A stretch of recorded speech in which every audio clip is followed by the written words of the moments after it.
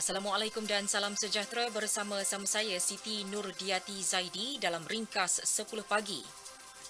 Pengagihan pendapatan sebanyak 4.25 sen seunit bagi amanah saham Bumi Putra 3 ASB 3 didik dan 2.00 sen seunit untuk dana harga berubah ASN Equity 2 diumumkan amanah saham nasional berhad ASNB bagi tahun keuangan berakhir pada 30 Jun 2020. Manfaat menerusi pengagihan pendapatan bagi ASB 3 didik sebanyak 275.4 juta ringgit memberi faedah kepada 298,560 pemegang unit yang memiliki lebih 6.5 bilion unit.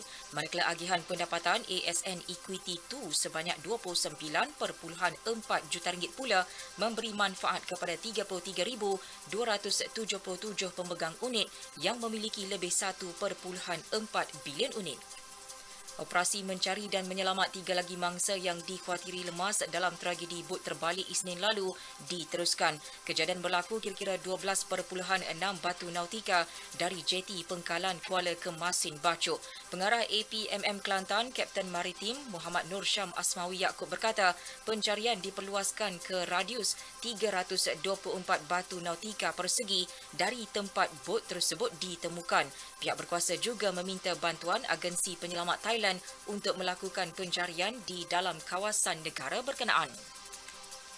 Banjir di Sabah, 36 orang daripada 8 keluarga masih ditempatkan di satu pusat pemindahan sementara PPS di daerah Kota Belud. Menurut kenyataan Jawatan Kuasa Pengurusan Bencana Negeri, hanya satu PPS masih dibuka. PPS lain ditutup setelah penduduk yang terjejas dibenarkan pulang kerana keadaan banjir telah pulih. Sebelum ini, 11 daerah melibatkan 152 kampung di Sabah terjejas akibat banjir ekoran hujan lebat Sabtu lepas.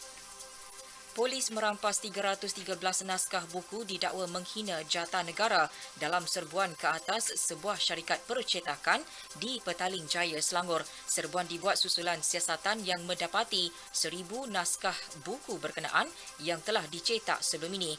Namun 687 naskah telah terjual secara dalam talian. Pengarah Jabatan Siasatan Jenayah Bukit Aman, Datuk Huzir Muhammad berkata, polis kini dalam proses meneliti naskah buku tersebut selain telah mengenal pasti individu terbabit yang melakar kulit buku berkenaan.